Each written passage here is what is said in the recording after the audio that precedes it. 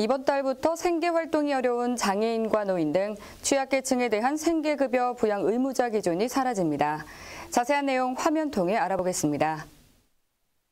10월부터 생계 활동이 어려운 장애인, 노인, 한부모 가구 등 취약계층에 대한 생계급여 부양 의무자 기준이 폐지됩니다.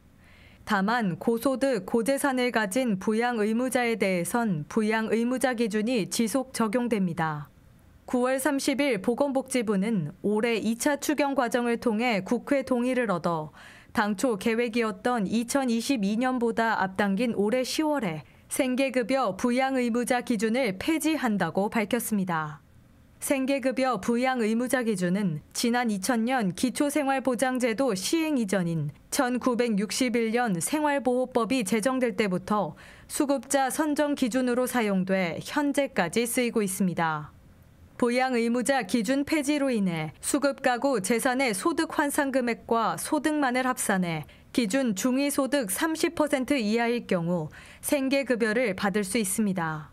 복지부는 올해 연말까지 저소득 취약계층 약 40만 명이 새롭게 생계급여 수급자로 책정될 것으로 추산하고 있습니다.